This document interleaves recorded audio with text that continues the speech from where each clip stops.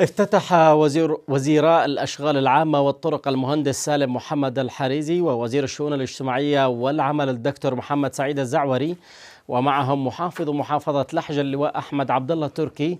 ورئيس مجلس إدارة صندوق صيانة الطرق والجسور المركز الرئيس بعدن المهندس معين الماس طريق الحبيلين الدائري الرابط بين مديريات لحج بباقي محافظات الجمهورية. وخلال التدشين كدا وزير الأشغال الحريزي أن الوزارة تعمل وفق خطة تنموية خاصة بمشاريع الطرق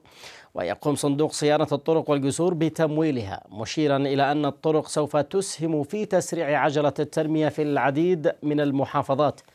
لافتا إلى أن الوزارة ستعمل على تنفيذ العديد من المشاريع في مديريات يافع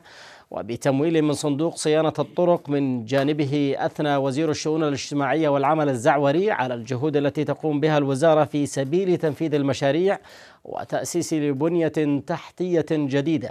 لتحقق تنمية مستدامة بدوره شكر محافظ محافظة لحج اللواء أحمد تركي